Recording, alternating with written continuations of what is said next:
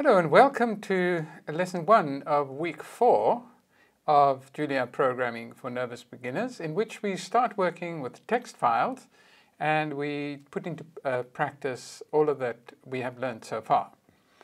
So uh, in this lesson, we are just going to talk about methods for opening, reading from, and writing to text files. So after this lesson, um, you'll be able to discuss why file input-output is fundamentally risky for a computer. You'll be able to describe different kinds of access to files, a read-only access, write-only, or read-write access. Um, and when you have read-write access, you may be doing it discarding or retaining the file data that are already in the file. You'll be able to use open to create a file handle specifying what type of access is needed. You'll be able to use read and read lines to read from a file with an open file handle. And you'll be able to use write to write to a file with an open file handle. And finally, you'll be able to use close to close a file handle. File I.O. in general, um, this is uh, new for us. So far, you've been using programs that generate their own data.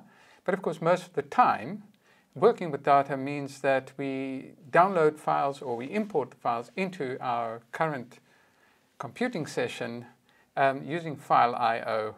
And um, the important point here is that you should think of a file arriving in your Julia program's workspace as, a, as if it's like a stranger at arriving at your door. That stranger could be bringing you a package you've been waiting for for a long time, or that stranger could be trouble. So for human beings, we have developed ways of um, judging a person by their appearance, talking to them, to try and find out exactly how we should treat them, how much we can trust them. For better or worse, computers do not do that sort of thing.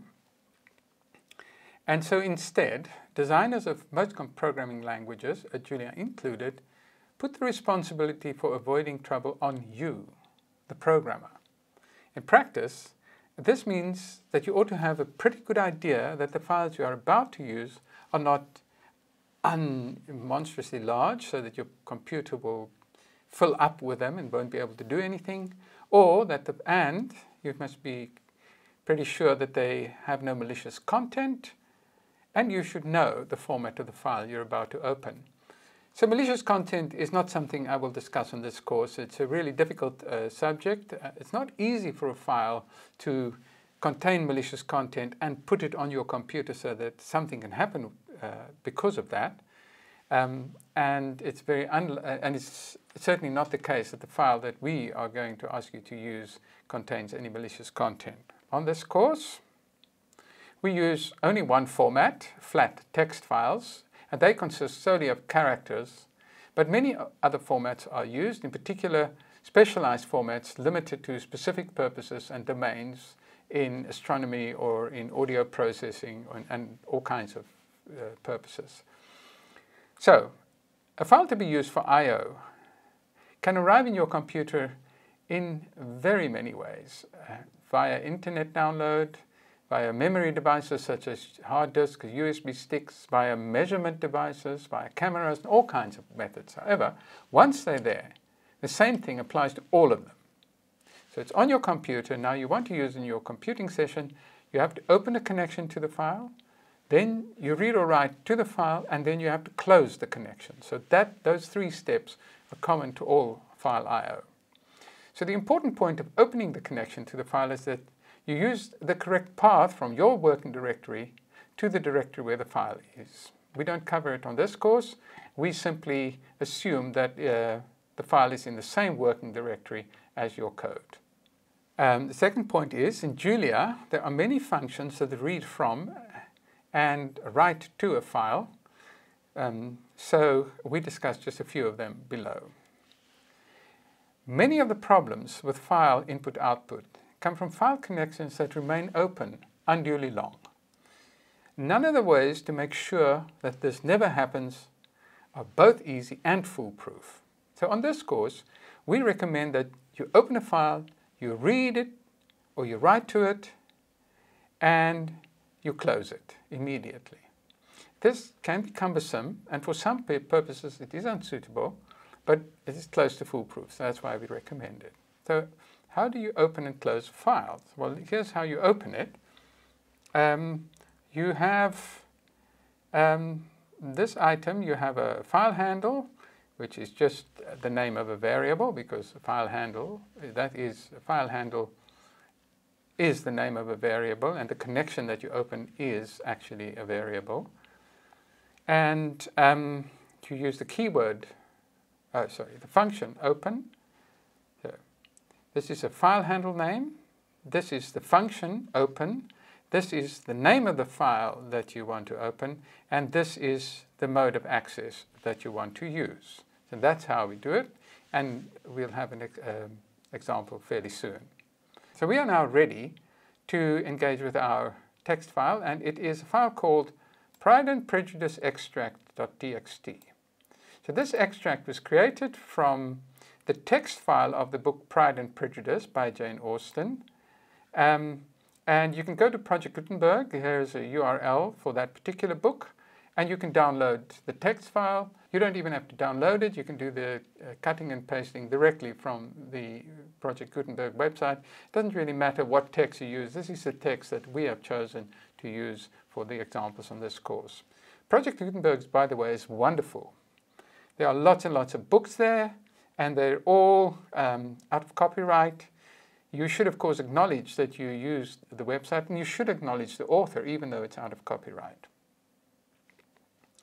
So, here is the open, and then we can have, uh, we can just use the read, and in, if we just use read, we have to specify the type.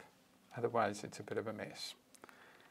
So now we're ready to read um, our um, extract of Pride and Prejudice. It is this particular file, and we simply write fh equals open and we start typing the file name and we can pr press tab and it completes and that is um, the open um, and that's all we need to do and then we can say pride and prejudice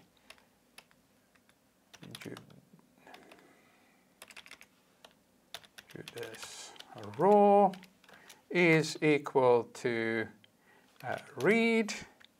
We have to give the file handle, so that is the connection that makes the read happen. And we have to say what kind of uh, data to expect. And we don't want to see them all. Oh, well, let's see them, why not? It's quite long.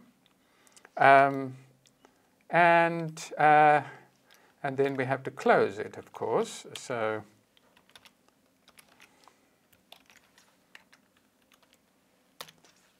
Okay, so now we have the file in a single string. Actually, um, we don't really want to see um, it as a single string, so the split function will actually split um, um, saying there's two J's, but too bad. And we just have to say what we're looking for. So we will give the new line character and now it will split it into lines uh, like that. So that's quite a lot of code to do and so instead um, we can read the file with a different way. Of course we have to again open it and then instead of reading we can say read lines. And now we don't have to say what the string, uh, that it has to be a string because now it'll just read line by line. And uh, I don't want to give it the same name, so I'll give it pride and prejudice lines.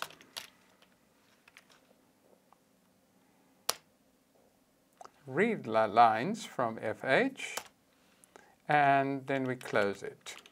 So now, um, having actually read it, um, we can also get rid of filter to, we can use filter to get rid of them. Um, we can just say filter bang and what we want to have is that x, when this is true, so when the line that we have read, the x value, all of these lines, so these lines here, there's a, an empty line there, an empty line there, there's an empty line there. That appears to be a character that we don't know what it is. Um, and we say, so if it is uh, an empty line, um, then we actually, um, so x equals equals that. And that's what we don't want, so we make that to be false. So when that is false, we keep it, and we are using uh, pride and prejudice lines. And um, this, in fact, is just an indication that this is the last uh, few lines and this is the first few lines. It's just a gap in the, the start of the, uh, of the file we're reading and the end of the file we're reading. One can also write to a file. For instance, if we want to create a file called newfile.txt, I can write to it f equals uh, open new I have to make a string. New file.txt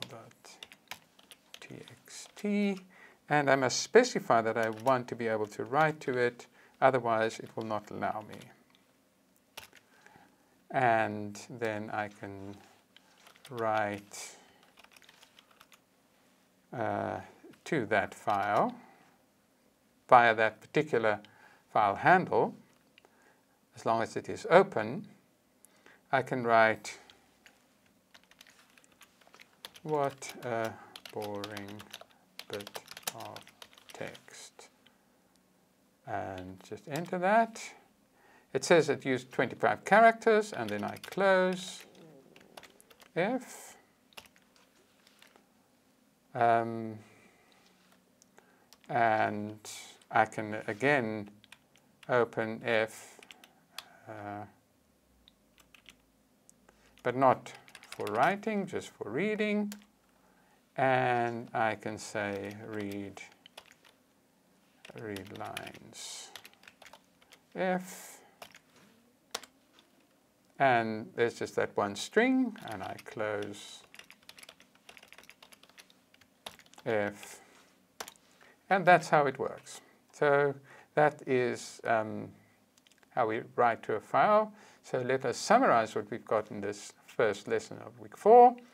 File uh, in, input output happens in three stages. You open a connection to a file, you read or write to the file, and you close the connection.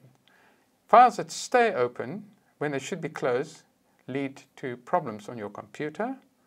The programmer decides at the time of opening the connection whether the access is for reading or for writing or for both. And if the access is for reading, the programmer must always decide, also decide whether to keep existing data in the file or not. So that's the end of lesson one of week four. Thank you very much.